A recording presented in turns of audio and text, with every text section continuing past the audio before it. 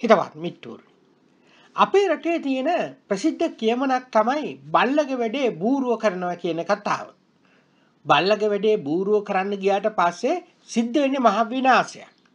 හැබැයි මේ කාරණය තේරුම් නොගත්තු එක් අමනයෙක් තමයි මේ වෙනකොට අපේ රටේ ජනාධිපති වෙලා ඉන්නේ.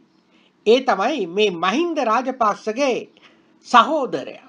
විශේෂයෙන්ම ගෝඨාභය රාජපක්ෂ කියලා කියන්නේ ලේ පිපාසයෙන් පෙළෙන මිනිමරු තක්කඩියෙක් කියන එක පෞගී ඉතිහාසය දන්න බොහෝ දෙනෙක් දන්න කාරණය. හැබැයි අපේ රටේ ඉන්න සමහර මෝඩ හරක් කල්පනා කරනවා හමුදා පාලනයක් කියන්නේ බොහොම ලස්සන හරි සුන්දර දෙයක් කියන කාරණය. හැබැයි හමුදා පාලනය කොතරම් කුරුරුද කියන කාරණය තේරුම් ගන්න අවශ්‍ය නම් එක්තරා හොඳ උදාහරණයක් තමයි පාකිස්තාන සමාජයට පහුගිය කාලේ වෙලා තිබෙ මොකද්ද කියන කාරණේ. මිත්‍රෝනි පහුගිය යුද්ධයෙන් පස්සේ අපේ රටේ පොලිස් වලට විශාල ප්‍රශ්නයක් ඇති වුණා. ඒ තමයි යුද්ධ කාලේ බැඳවගත්තු පොලිස් නිලධාරීන් සිවිල් නීතිය දන්නේ නැහැ. ඒ නිසා ඔවුන් දැනගෙන හිටියේ හුදෙක් තුවක්කුවක් එල්ල කරගෙන කවුරු හරි පස්සෙලවෙන එක විතරයි. ඒ නිසා පොලිස් වලට කොතරම් පොලිස් නිලධාරීන් හිටියා ප්‍රශ්නයක් තිබුණා ඇන්ට්‍රියක් ලියන්න පුළුවන් එකෙක් නැති එක. ඉතින් මිත්‍රෝනි ඒකට හේතුව තමයි හමුදා මානසිකත්වයකින් යුක්ත වෙච්ච පුද්ගලයෝ පොලිසිය ඇතුළේ හිටීම. කොටින්ම සිවිල් නීතිය නොදැන සිටීම.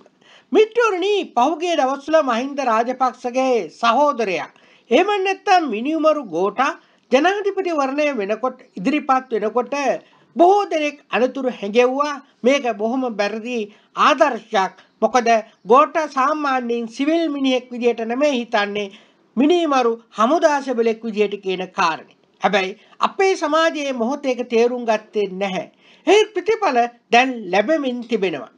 මිත්‍රවරුනි මේ දවස්වල මහින්ද රාජපක්ෂත් එවැගේම ගෝඨාභයත් එකතු වෙලා මේ රටේ බොහෝ ඉහළ තනතුරු වලට එම නැත්නම් විශේෂයෙන්ම අමාත්‍යංශයේ ලේකම්වරු හැටියට හිටපු හමුදා නිලධාරීන් පත් කිරීම කරගෙන යනවා. මේ භයානකම ප්‍රතිඵලය තමයි මොවුන්ට සිවිල් කටයුතු පිළිබඳ අවබෝධයක් නැති නිසා සමාජයේ අවසානයේදී මිලිටරිකරණයට එහෙම නැත්නම් හමුදා නීතියට යටත් වීමට තිබෙන ඉඩකඩ හරිම භයානක තැනකයි දැන් තිබෙන්නේ. විශේෂයෙන්ම මේ පිළිබඳ අවධානය යොමු කරන බොහෝ දෙනෙක් මේ තියෙන බරපතලකම අවධාරණය කරත් අපේ රටේ ඉන්න සමහර මිනිස්සු මේක තාමත් තේරුම් නොගැනීම අවාසනාවකට කාරණයක්.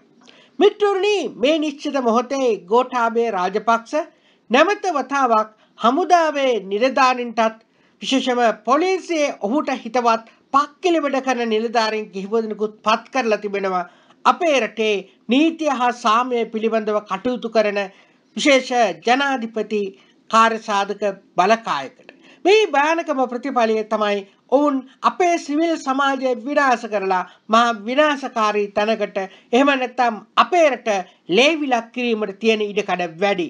ඔබට මතක ඇති එදා විශේෂයෙන්ම ගෝඨාභය රාජපක්ෂ වැලිකඩ හිරගෙදරට STF එක යවලා මේ රටේ හිටපු විශේෂයෙන්ම පුරවැසියෝ එව නැත්නම් හිරගෙදර හිටපු 34ක් විතර පිරිසක් අමු අමුවේ ඝාතනය කරනු ලැබුවා.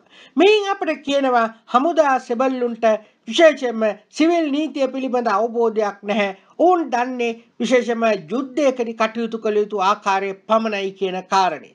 අපි පහුගිය කාලේ දැනගෙන හිටියා ගෝඨාභය රාජපක්ෂගේ ගෙදර මිනිමෝරු ඉන්නවයි කියන කතන්දරේ. විශේෂයෙන්ම විකෘති මානසිකත්වයෙන් යුත් සමහර පුද්ගලයෝ එවැනි දරුණු සත්වයක හුරුතල් වීම සාමාන්‍ය සිද්ධියක්. විශේෂයෙන්ම මේ නිශ්චිත මොහොත වෙනුවිට අපේ රට නැවත වතාවක් අන්නේ දරුණු අඝාතයට තල්ලු වෙමින් තිබෙනවා. මිත්‍රෝනි සාමාන්‍යයෙන් යකාගේ හැටියට තමයි භවන හැදෙන්නේ. ඒ නිසා මේ ක්‍රමය වෙනස් කරලා නැවත වතාවක් සිවිල් සමාජය ශක්තිමත් කළ හැකි.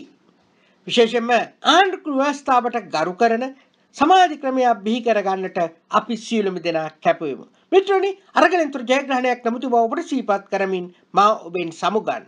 ඔබ සැමට ජය